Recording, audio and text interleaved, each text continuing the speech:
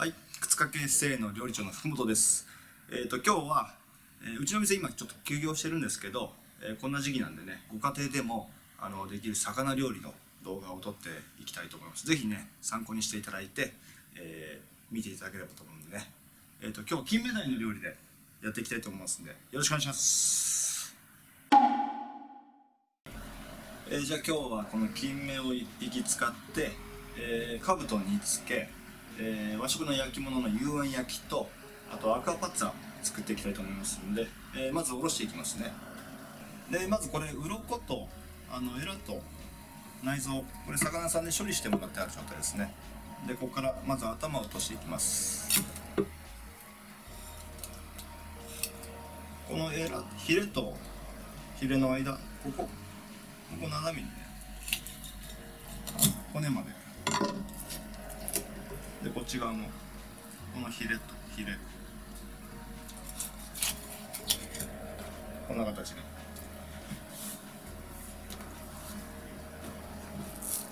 で三枚おろししていきますけど、えー基本的に魚屋さんにこの状態で魚って売ってるんですけど、まあ、この上側が上身で裏側が下身か下身っていうんですけどね。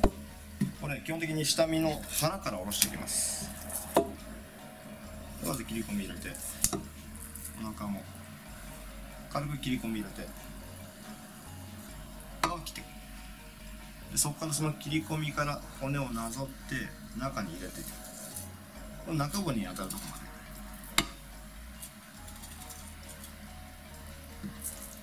で。で腹次背中。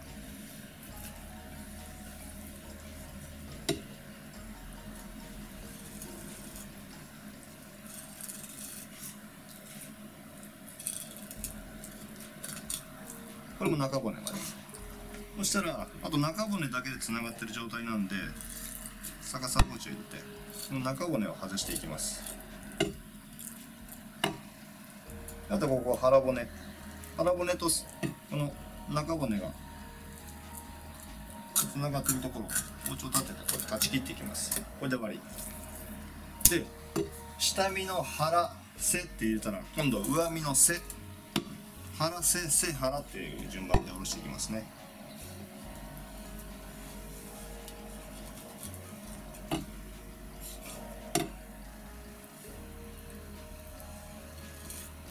これも一緒。包丁が骨に当たる音がするまでねこうやって。で次腹浅く切り込みを入れて。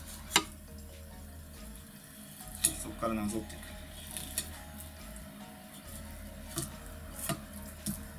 で逆さ包丁。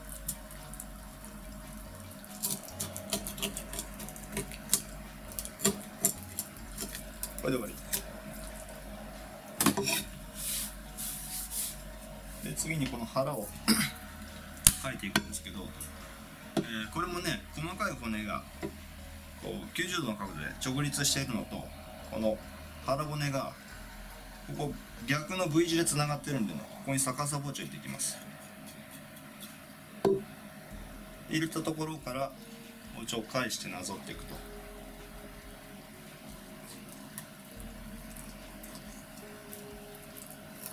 これで腹骨取れました。これも一緒。まず逆さ包丁。で入れたところからなぞっていく。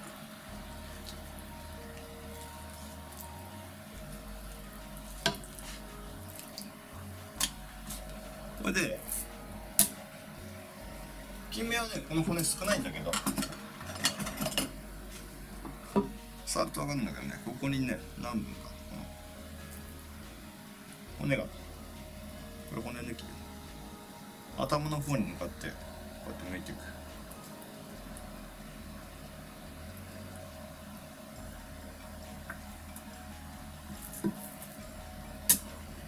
で骨は分かりづらいんだけど手で触るとすぐ分かるんで。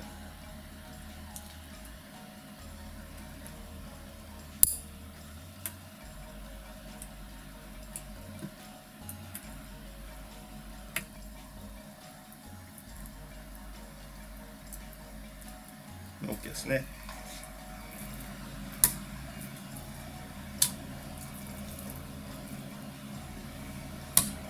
これちょっと難しいんだけどね。かぶと割りで口開いて上顎のちょうどど真ん中ここ。ここに包丁が入るようになったでここしっかり押さえてグッと押さえて。少しずつ入れて。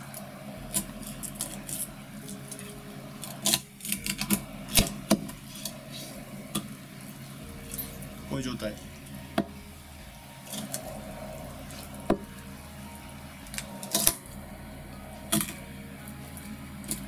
これだと入れることも今日半分にしちゃいますけどね。ちょうどこの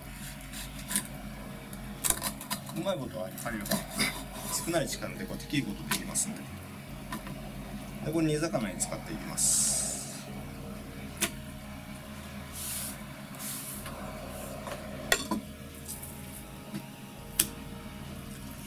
もう今こういう状態ですねじゃあここから調理していきますじゃあ先ほどあの割った頭をね、えー、霜降りしていきます。でこれ沸騰したお湯の中に一瞬くぐらしてあげるだけなんですけどこれやることによってあの残った細かい取りきれない鱗とかあとは血とかも凝固して生臭みが取れる。んでこれやっとくと後で出てくるアクも少ない。んでお湯の中くぐらして、剥がれそうな剥がれ剥がれてきた鱗を取っていきます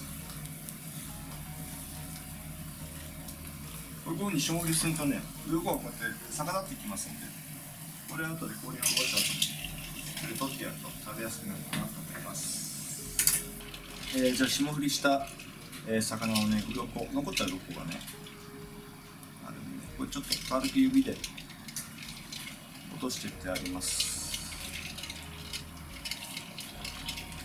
でこの血合いなんかもあの霜降りすると固まってきますんでこれも臭みの元になるんで取り除いてあげてください。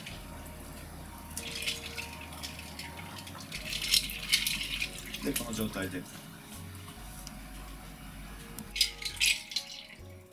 もう軽くなぞるだけで取れるようになってるん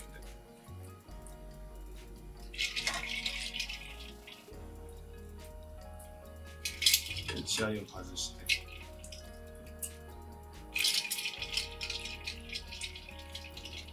じゃあここから煮ていきます。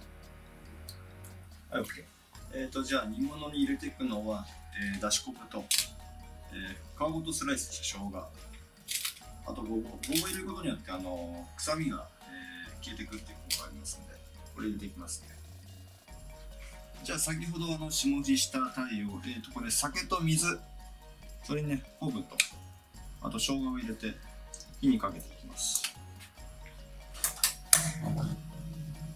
でここから入れていくのは砂糖と醤油とみりんなんですけど、えー、みりんだけはあのー、ちょっとみりんの成分でタンパク質をちょっと凝固させて硬くなっちゃうあの成分が入っているのでみりんだけは一番最後にで砂糖と醤油を入れていきます。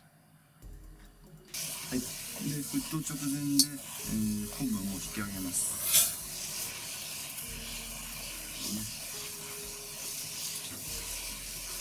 これでここでごぼう入れていきます。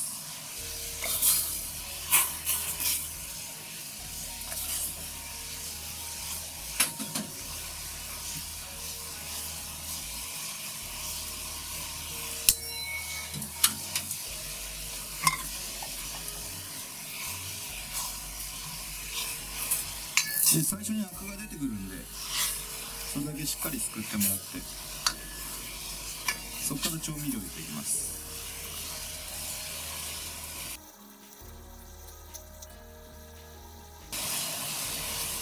でこれ霜降りしてあるからそんなにそんなにボコボコアクは出てこないけどね。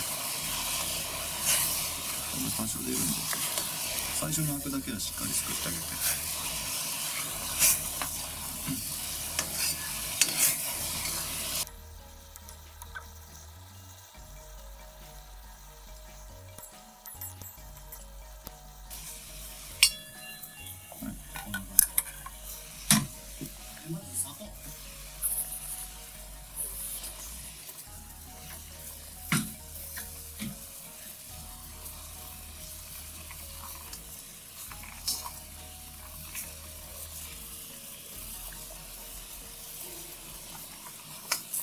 ある程度しっかりアクが取れたところで醤油入れてきます。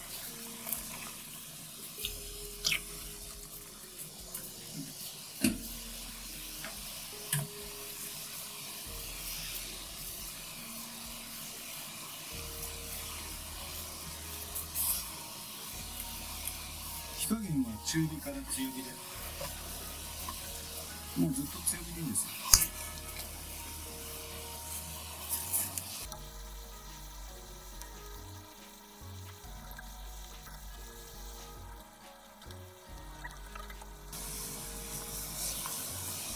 でこれ沸騰してきたらまたこうやってアク出るんでねアクだけしっかり取っておいて。でよく落とし蓋言われるんですけどあの鍋の大きさと火加減でしっかり調整してこんな風にしてあの魚にね煮汁がかぶってる状態を維持してれば落とし蓋いらないんでこのまま強火で炊いていきます。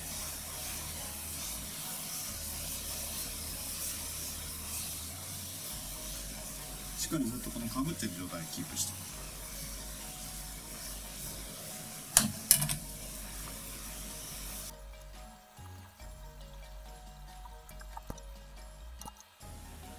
あんまり鍋が大きすぎたり魚に対してするとこうやってこう地がせり上がってきてくんないんでその場合落とし蓋してやればいいのかな。アルミホイルとかかぶしてやればいいのかなと思います。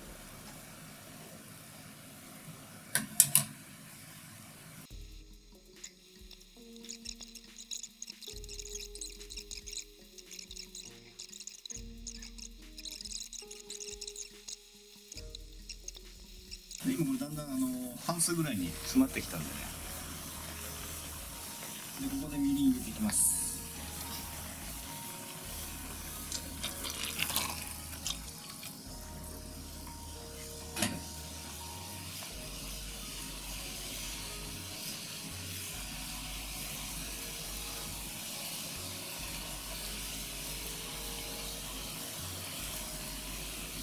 たまにこうやってかけて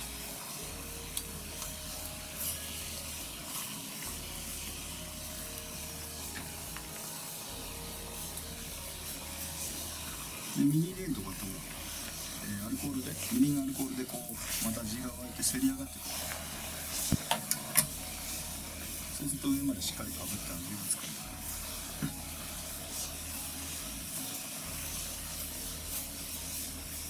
ね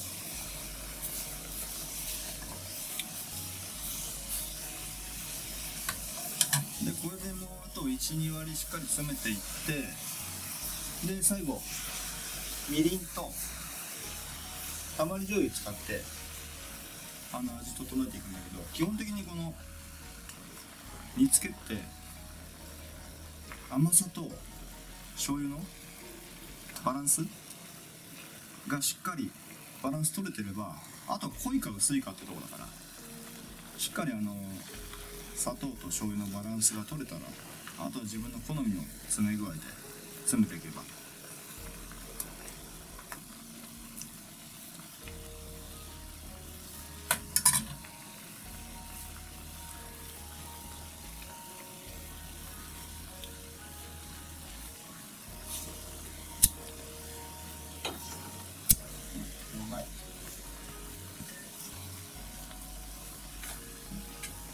で仕上げにたまり醤油少しね。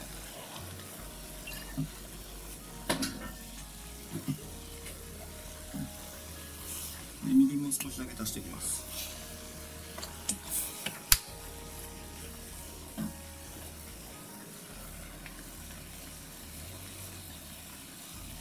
でみりん一番最後に入れることによってこのみりんのアルコール分で最後地がバーッとせり上がってきてでこの魚の表面自体にも照りがつくんで。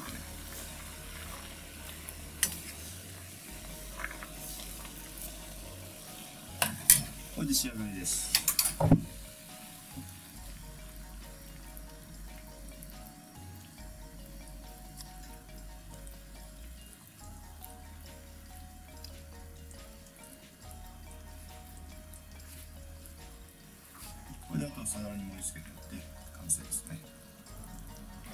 はいじゃあ盛り付けていきます。崩しちゃうかもしれない。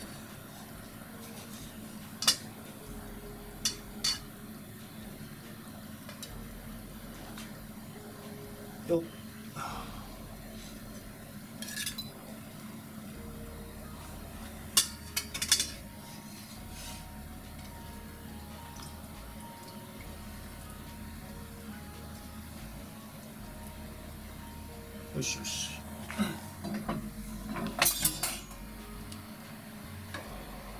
でこの煮たごぼうも添えてあげて。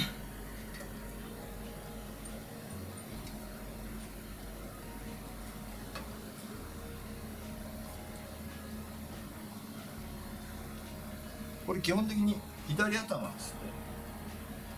左側頭ね顔向けてやんと。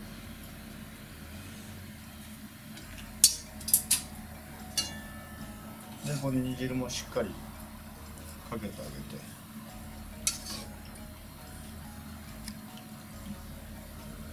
いいっすわ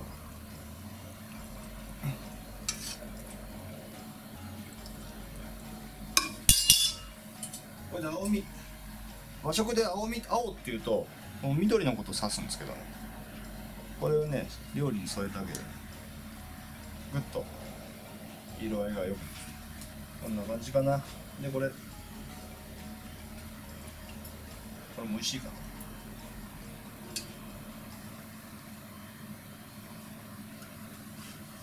なはいじゃあ完成です。